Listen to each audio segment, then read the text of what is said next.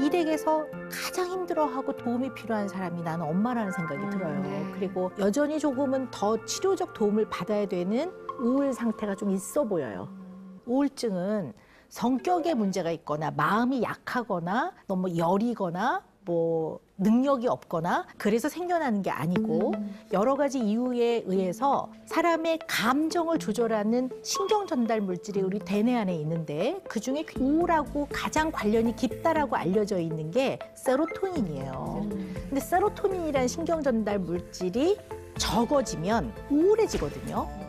실제로 여성계 호르몬인 에스트로겐하고 이 세로토닌은 아주 관련이 깊어요. 그러면 생리전 일주일 전에는 훨씬 더 세로토닌이 떨어지면서 그때 유난히 더 감정 조절이 어렵다든가 또 평소에는 그냥 넘어갈 만한 것이 생리전 그 일주일 동안에는 막 악을 쓰게 되고 이럴 수가 있단 말이에요. 엄마가 조금 세로토닌이 떨어질 때 어떨 때냐면 주로 오전에 그리고 계절도 좀 타요.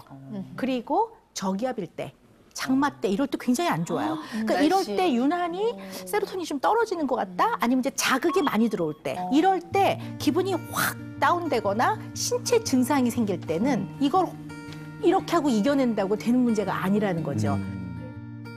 그럼 세로토닌은 언제 어떤 거 할 때 세로토닌이 나와요? 햇볕을 보면서 가볍게 운동하거나 몸을 많이 움직일 때 그럴 때 세로토닌 많이 나오거든요. 보통 잠 잘 자고 햇빛 많이 네네네, 보고 하면 맞습니다. 네. 저어 머니 말씀해 주신 대로 좀 음. 가볍게 운동하는 시간도 좀 가지시고 너무 지금 애들한테만 반응에만 집중하신 것 같으니까 어머니 자신을 좀 돌보실 수 있으면 좋을 것 같아요.